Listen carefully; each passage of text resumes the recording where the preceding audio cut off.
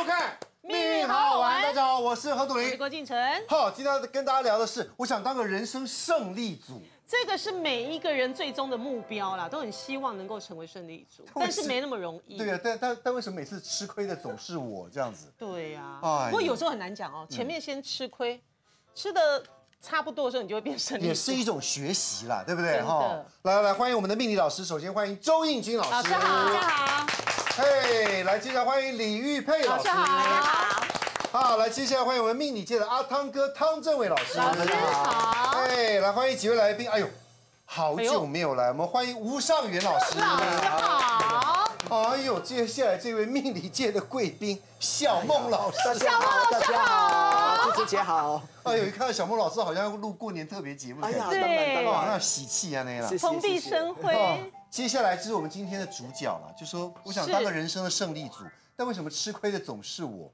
哎，看不出来哈。哎，购物台的购物天后有很多，但是购物天后里面有一位长得像白嘉莉的，你知道是谁吗？有白嘉莉的脸，但却没有白嘉莉的命。我们来欢迎郑凯文。好烦哦。到会员呢，今天不是来卖东西，今天是来告诉你要如何当人生胜利组。你说但我真的不是白嘉莉，有没有人说你长得像白嘉莉？有啦，从小到大，白嘉莉呀、叶玉卿啊、哦，对对对，欢欢呐、陈宝莲呐，那都是美女，都是大美女。哎，其实像凯文这样女生，工作能力又强，而且她不懒惰，她又很努力，她很用功，但是就觉得总是人生就是差那么那么临门一脚嗯。是，而且其实凯文一直以来都是购物台的销售天后。谢谢不瞒你说，我常常就是败在你手下，就是一听到 你卖什么东西，我就拿起电话来直接就买了不。好意思啊，你下次可以先传简讯给我看，我可但不可以买倒是不必，就是你有一种很厉害的销售能力，是会让我觉得很想买那个商品。嗯，因为我的确在，可能因为我是狮子座的关系，我做任何工作，我不是在自己自夸。我说实在话，我我会比别人投入更多的心力去做，是，哎，但包括做功课，我都做得比别人还要就是这样。哎，说购物天后当然很多，大家卖不同的商品哦。那其实，呃，凯文他的业绩很好，对，然后观众呃收观视也很好，有观众缘。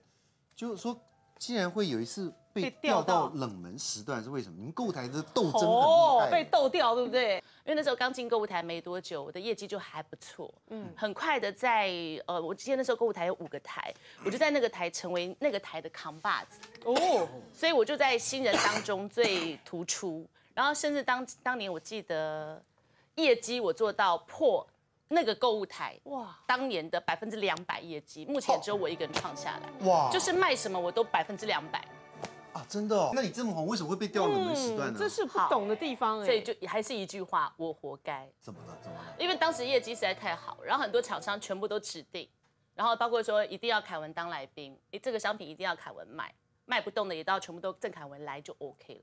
所以那时候我整个屁股翘起来，开会的时候只要你讲话稍微慢一点点，当然我先说那是以前哦，稍微慢一点我就说可以讲重点吗？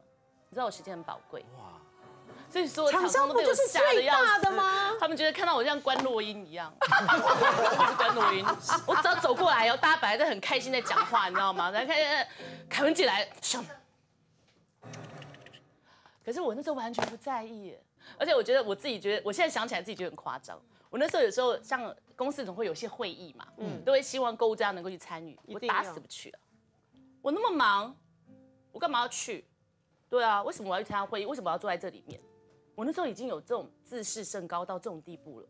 然后有几次长官就把我叫过来说：“哎，我觉得你敢讲，我会直接在众人面前拍桌子跟长官呛起来。”我们那时候就觉得我自己是天后啊，因为我觉得我我就很厉害啊，公司所有业绩都是我赚的啊，所以也因为这样，我得罪了不少的厂商，得罪了长官，得罪了同事。那时候我一个朋友都没有，我无所谓，我只觉得我只要业绩就好，我只要会赚钱就好。因为那时候我是做重点档时，重点档时段在购物台，一般我们会称为晚上的八点到十点，这个时间很多人都下班回到家了，所以这个叫做重点档时段。那我很早就坐正在重点档时段，几乎所有一线商品都是我在做推荐。是，可是呢，就是因为我这段时间大概将近半年时间，我非常的自视甚高，长官实在看不下去了，然后很多人讲我的小话。Anyway，我活该。有一天，长官在我，甚至我那时候有自己的专案节目，在每个礼拜六固定我都是卖一些品牌的东西，香水的东西，都是那种最精品的，都是我郑凯文来负责。嗯嗯。就在前一天礼拜五的晚上，准备要睡觉去安节目了，功课都做好了。长官打来说你们不用来了，为什么？因为我们 life 其实很少会被拉掉，很少。他说你不用来，我说哎，我有三个很重要的精品要卖耶，什么顶级的化妆水啊，或者什么什么香水都是我要卖。他说哦换人了，但换那一位我不会讲，换人了，全部临时换人。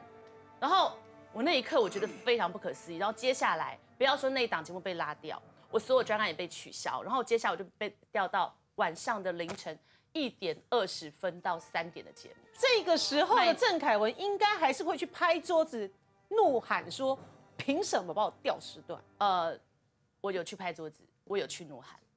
对，可是当时呃，我的现场有三位长官同时指着我在骂：“你什么东西呀！”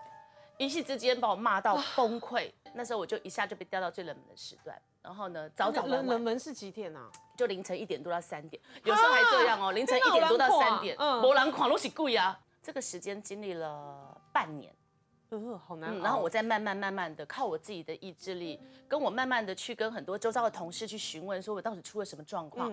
我一些好朋友跟我讲说，郑凯文，我真的觉得其实是你的问题，你真的太骄傲了，你真的是。太铁齿了，你真的是不能够这个样子。所以我觉得我自己慢慢去洗礼我自己，然后慢慢去沉浸我自己，然后在这一段呃脱离重点党的时段，我觉得其实我发觉其实旁边还是有很多人会去帮助我，是给我信心，然后再加上我自己的孩子，所以我觉得我自己就慢慢在站起来。但从那次以后，我就再也没有像刚刚所说的，就算我业做的再多好，我在当下会马上把所有情绪通通放下来。嗯，就是今天我就算做到第一名。我会到回到家那一刻，我就是郑凯文，把它丢掉。隔天我还是笑脸迎人，是对。哎，要适时的释放压力。骄傲的那一段时间，当然你走到公司，大家都哎呀，凯文姐好，凯文姐好。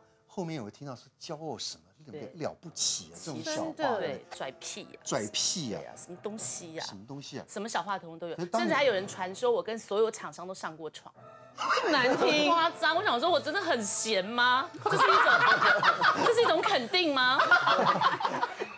这些组合的人哦，他们都有一种想法，就是来而不往非礼也。你敬我一尺，我一定会还你一丈。然后呢，他们不是一个小气或是气量狭小的人，他们尽量让事情虽然不至于说做到面面俱到，但是他们会把事情做得非常的周到啊。那他知道在什么时候呢，该说什么样的话，那讲话呢不会去轻易的得得罪。